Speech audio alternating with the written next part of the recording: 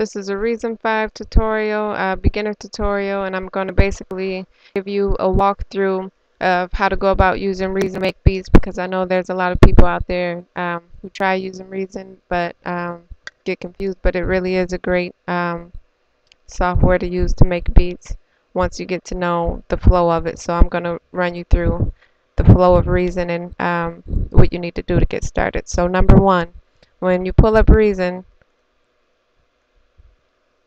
it's going to look like this blank session. The first thing you want to do is go to create, put in a mixer.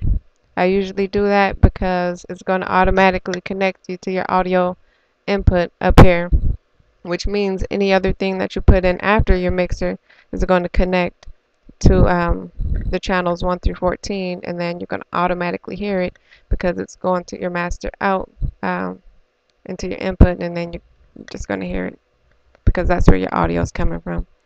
So I'm going to pick an instrument. Um, let's go with the subtractor. And you see it automatically connected it there. Say I pick another one. Say I want to um, play something else. Then it's going to automatically connect to channel 2. And I flip this over by hitting tab. I'm going to go back and forth. So the next thing I'm going to do is um, open up my window so I can have it full screen and I'm going to detach this sequencer by hitting this little icon here. So now I have the sequencer window and I can go back and forth between the sequencer window and the rack by hitting control 1 and 2 at the same time. Another handy window that you're going to need, um, I usually pull up before I get started is the toolbar window or the tool window and you get to that by hitting F8 or going to window and um, hide tool window. So before I start making my beat I usually just um, quantize click this button right here quantize during recording so that way, if you play something off, you don't have to worry about stopping it. It'll just um, put it on beat for you. And you can also quantize by um, the amount, which is how close do you want it to the grid or how close do you want it to the value that you're playing at. So say I'm going to play some eighth note uh, rhythm or something, then that means it's going to be exactly on the eighth note. If I change the percentage, then it's going to um, make it so that I keep more of the original groove to it. But I usually stick to 100 and then I go back and use regroove uh, to add some groove to it. But quite honestly, lately I've been using Pro Tools a lot to make my beats. But um, I made a lot of beats in Reason. After a while, you just want to move on. So, um, let's see, after I do that, I just play this piano sequence that I have up here, so I won't have to play anything else. So right on the on the grid, um,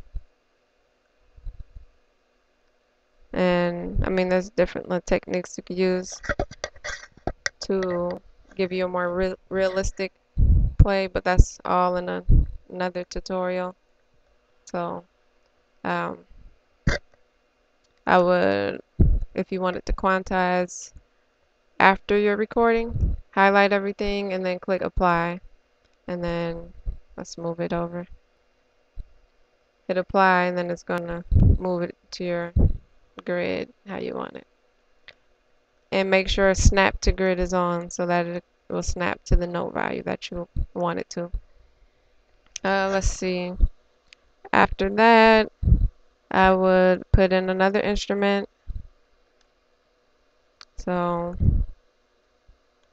I would put in another instrument, which I have here. That's going to automatically connect. Then I would play another instrument. Um, when you're recording, when you're ready to record, uh, let's say I wanted to add in Kong at this point, and I was ready to record. I would turn on my click down here and turn on my pre count on uh, my pre count so I can prepare myself to come in and play. And let's see, if you go to, trying to find it, I think it's options. Oh, number of pre-count bars, and you can set the number of pre-count bars you want before it actually start recording. And once you record, it's going to give you count. Then it starts. Um, another thing I like to do sometimes is just record and uh, have it on loop record. Which, if you have a num numeric keypad, if you hit the slash next to the number lock, it'll turn it on and off. And if you hit the asterisk, it, will record the um, record enable. So slash turns on loop, asterisk turns on record. Uh, might as well give you a couple more. On the numeric keypad, 1 and 2 will take your cursor uh, back to the beginning and end. 1 is going to take you to the beginning. 2 is going to take you to the end. Um, let's see. It's just tips to get you started with making your beats. Mm. So basically I went over how to put in your mixer first, then add a couple of instruments. After you do that, you're going to um, go ahead and click on quantize during recording if you would like to. Um, that works best for me. And then choose amount and the value. If you choose the wrong value that you're playing, your beat's going to be off. So you have to go back and replay it and choose the correct value. Also, um, if later you decide that you want to transpose the key, click on the area that you want to transpose. And I don't want to transpose 111 semitones. I just want to go up an octave, which is 12, and then hit apply.